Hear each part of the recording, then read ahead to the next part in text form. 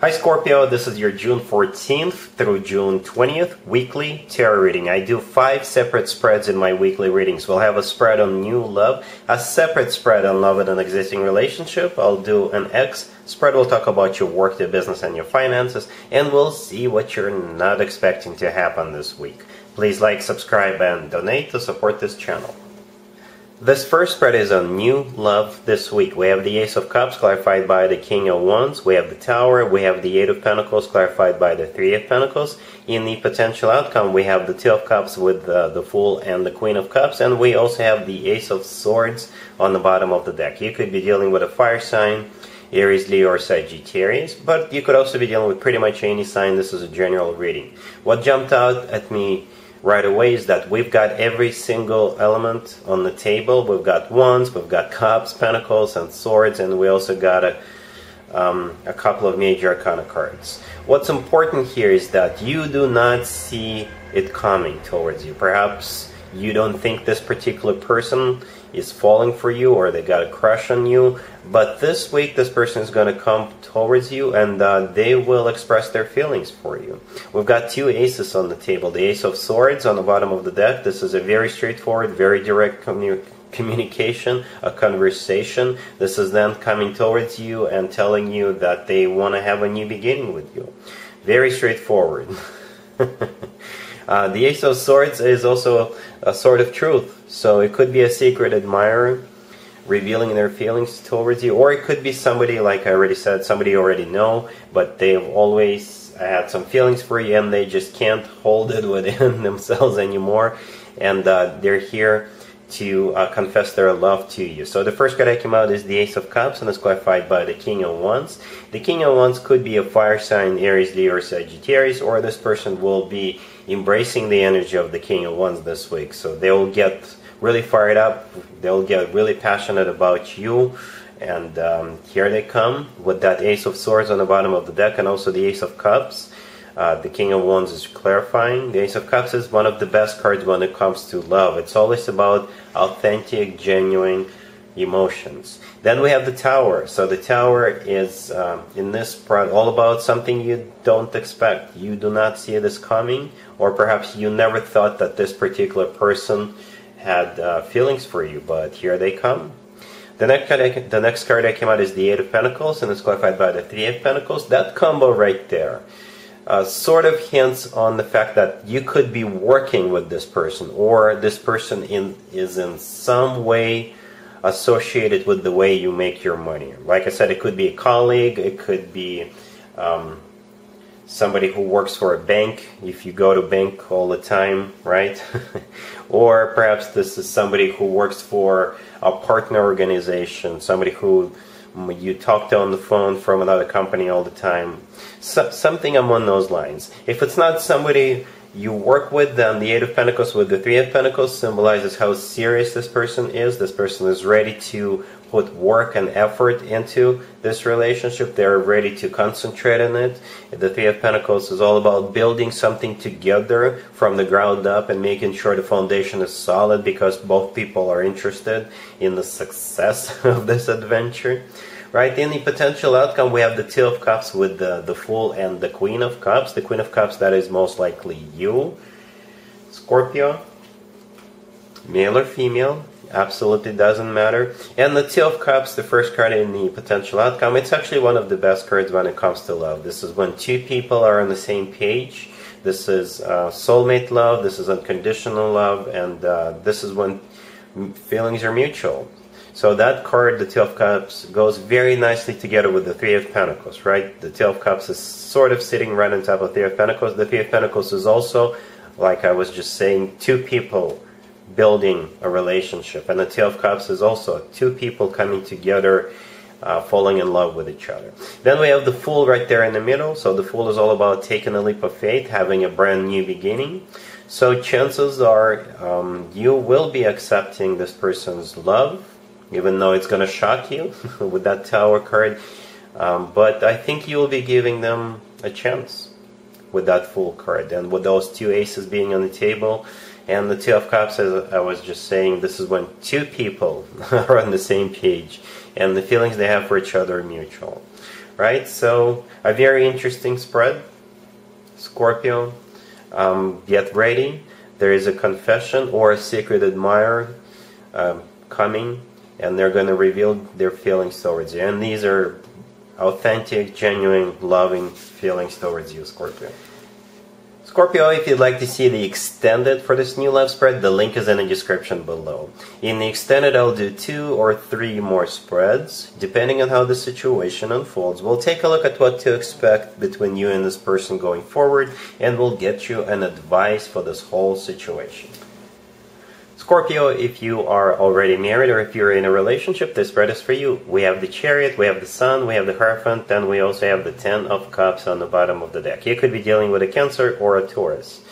This looks just off the charts, to be honest with you. We got three major Arcana cards and the Ten of Cups. Uh, these are all amazing major Arcana cards and uh, the Ten of Cups.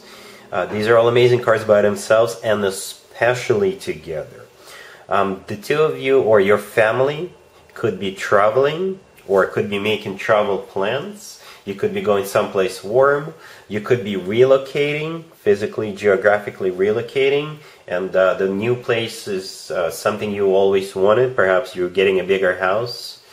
Um, if you were just um, in a casual relationship, you could be making it official. You could be taking this relationship to the next level, whatever that level is for you. If uh, you are already married, like I said, you could be traveling or something will sort of kickstart it or something will breathe fresh air, fresh spark into this relationship. And uh, if you were doing great, it's about to get even better. So, the chariot, the first card that came out, it's either a cancer you're dealing with, or the chariot is all about moving forward. It's one of the best, it's one of the fastest cards in the deck. Uh, the chariot could symbolize travel plans, with the sun card being next to it. It could be someplace warm, right? So the sun is uh, the happiest card in the deck. Like I said, you could be relocating, could be moving. The Hierophant right next to the deck. This is the personal Taurus card, but uh, in general, the Hierophant is about something traditional like a committed relationship or marriage. And the Ten of Cups on the bottom of the deck, this is the happily ever after card, or this is a family card or a committed relationship card, right? So you connect the dots. This is uh, one of the best spreads in uh, in a while, right? Um, and it's I really love when we have um, when I get short spreads with very few cards, but those short, small spreads tell the whole story, right? So in this spread, we've got the happiness, we've got two commitment cards, and we've got the chariot, which is all about moving forward or going places. So there you go, all you need to know. all right, really happy for you, Scorpio.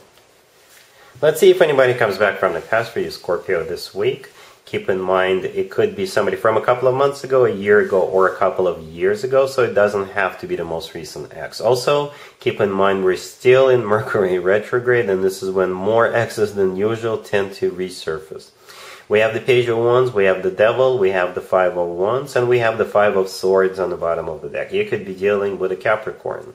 So the Devil card right there in the middle, it could be a Capricorn you're dealing with. If it's not a Capricorn, then this person there's only one thing this person is interested in, and that is to have some fun behind closed doors, if you know what I mean. The Page of Wands, the first card that came out, this is them reaching out to you, and they could tell you straight up, let's just get together and uh, get busy.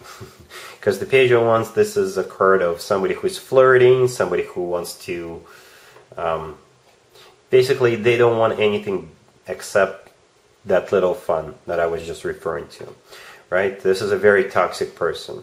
They could be very tempting, very attractive, but that still doesn't change the fact that uh, once they're done, they'll be on their married way. Uh, we also have two fives on the table, the five of wands and five of swords. Both the cards of conflict, both cards are uh, sort of aggression. So um, nothing good is going to come out of uh, you getting back together with this person. Trust me. So if I were you, I would send this person back to the past where they belong. Let's talk about your work, your business, and your finances, Scorpio. This week we have the Four of Swords, we have the Seven of Pentacles, we have the Page of Wands, clarified by the Ten of Pentacles, and we also have the Hangman on the bottom of the deck. This week is all about waiting, Scorpio, for you, right? You'll be waiting for a message or information or a letter or a phone call, right?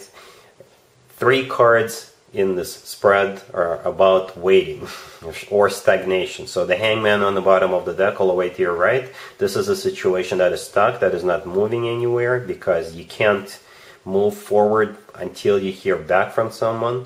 The Four of Swords, the first card I came out, this is you basically, again, not moving, just waiting, patiently waiting. Speaking of patiently waiting, the next card I came out is the Seven of Pentacles, and that's exactly what the Seven of Pentacles is about patiently waiting.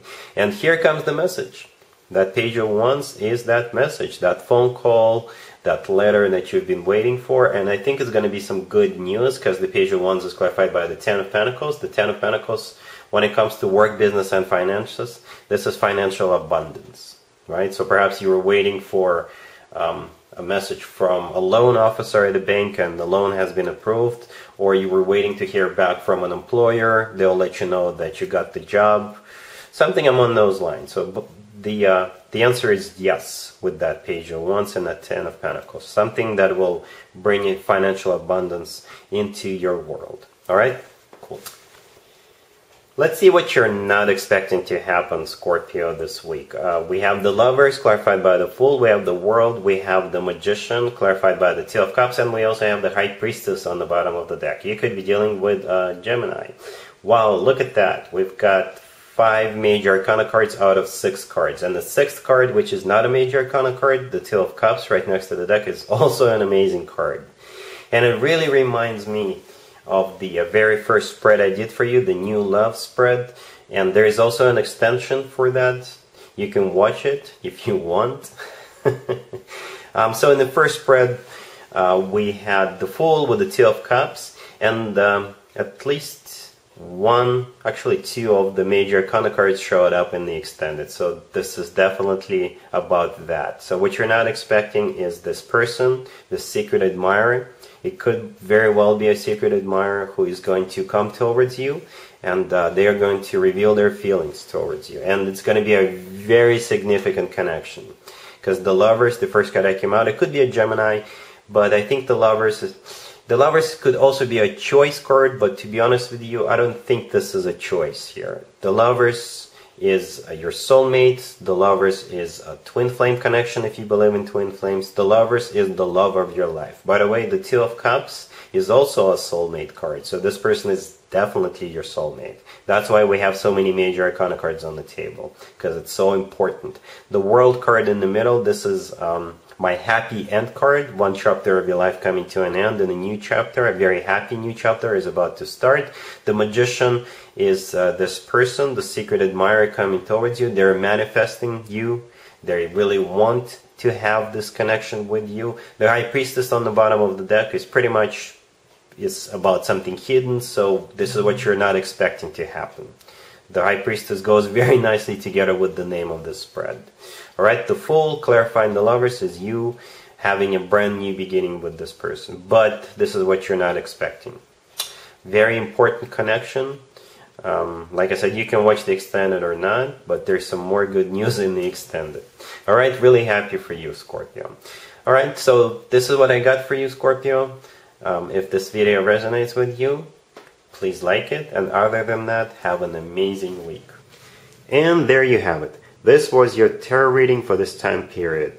I hope it resonated with you and helps you live a better life one way or the other. Thank you for watching, sharing, and subscribing.